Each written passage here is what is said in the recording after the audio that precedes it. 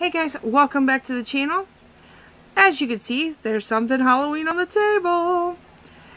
Yes, it's time for the Haunted Haven collab, hosted by Heather's Handmade Haven and Susan Tootsie Tucker's Creative Adventures.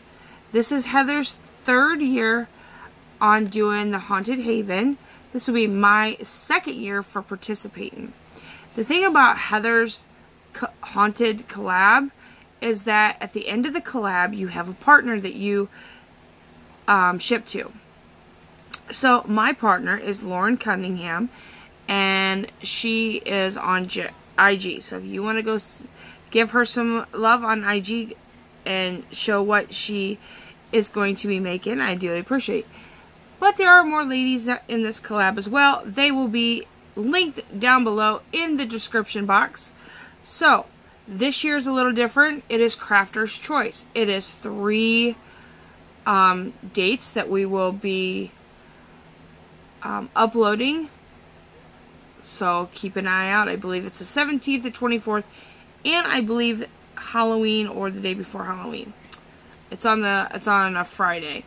So here we go. So I contacted Lauren and I had contacted one another and didn't know what to actually do with the crafter's choice. You know, you kind of want to make it kind of equal that you guys send each other the same amount or what you want to do. So then, like, I'm not making a gnome and she's making a, you know, something else. So we have decided because of the cost of shipping that we would do something simple to ship. So we have decided on excuse me, a pocket letter with goodies, a Memdex, an ATC card, and a pack of four embellishments. So that's what we're going to do. So my crafter's choice on week one is going to be the pocket letter.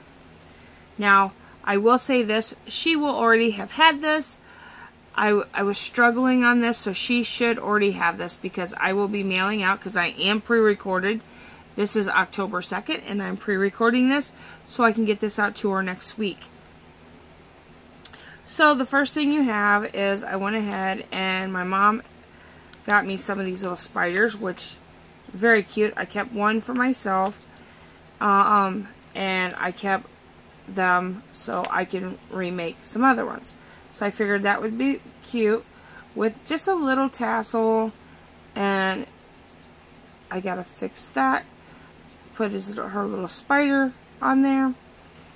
Um, I don't know where he went, but there's a little spider that goes there. So I went ahead and the first week is my pocket letter.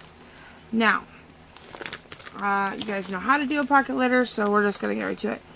I did a lot. I decided that I wanted to do more of a Halloween because it is Halloween, but like the more the purple because it's my favorite color and it's a Halloween color. So I did a lot of purple and some stripes reminding me of the witches stockings and then the orange down at the bottom. So a traditional kind of Halloween type thing. Um, all this actually is from the Dollar Tree. Everything here has been fussy cut other than like these are foam stickers. From the journaling cards from the Dollar Tree. Okay, yes, these are the big ones. But what I have done is I cut out this part of it. So it's little and they're perfect for going on pocket letters. So I went ahead and that's what I have done. Then I put Happy Halloween here with a ghost and a little, uh, like a werewolf with bones. Did a lot of fussy cutting, let me tell you guys. That's the house that went with that, with the spooky tree. And then you come over here, and it's the jack-o'-lantern. Oop, that little spider always drives me nuts. So we'll get it like that. Look, look at Frankie taking the witch in the stew. So there you have it. And then down here. See if I can correct it a little here. There you go. And that's how that goes. Very simple. And then on the side, I went ahead and found some orange lace to cover up this on the side just to make it a little prettier. So what I have done, because I decided, oops, hello, I'm stuck. What I've done is, um, you always have goodies, and that's what we decided to do as goodies in the pocket letter. So instead of putting the goodies in here, um, I just put my name, that it was October 2021, Heather's third annual Haunted Haven collab slash swap. So then she knows when we swap together. Okay? I'm not going to put the goodies on here because it always makes it bulky and there's sometimes that they rip. So I went ahead and I made her a little note thanking her for being part of this. This is from the Dollar Tree um, that you hang. I, this is last year. And that's from Walmart's thing. So I just went ahead and these are a couple things that can't fit in there anyways. So I, I gifted her a couple skeletons. Some booze. Do apologize about the wicker in here. And then here is her goodie bag. So everything that I wanted to put in here won't fit. So I had a bag that I had gotten from a friend that dyes paper. And it's just a purple bag. Here is my sugar skull that I have went ahead and made it into a shaker. And all the goodies are in this bag.